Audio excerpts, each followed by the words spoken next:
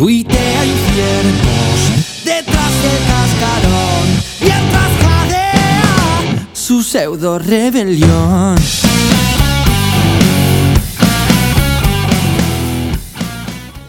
En el cierre de su gira patagónica en el TNA, Platense se impuso 72-66 ante Huracán de Treleu.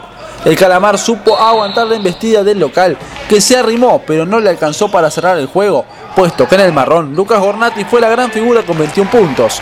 El equipo de Vicente López no encontró el norte en el primer cuarto, donde el globo fue superior, pero los dirigidos por Alejandro Vázquez encontraron una sólida sociedad entre Gornati y Morales para irse arriba 25-17.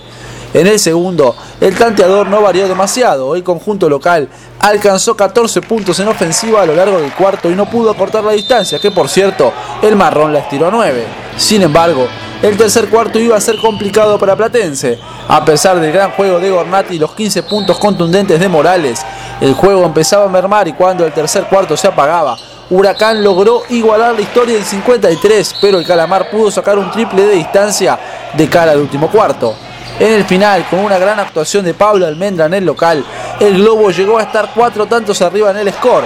Pero el marrón volvió a despertar y Morales castigó desde los 5 metros en dos ocasiones. Y para cerrar el compromiso, Cornati selló el triunfo con un triple para estampar el 72-66 definitivo y así dejar a Platense en lo más alto de la Conferencia Sur y además invicto en esta segunda ronda del Torneo Nacional de Ascenso.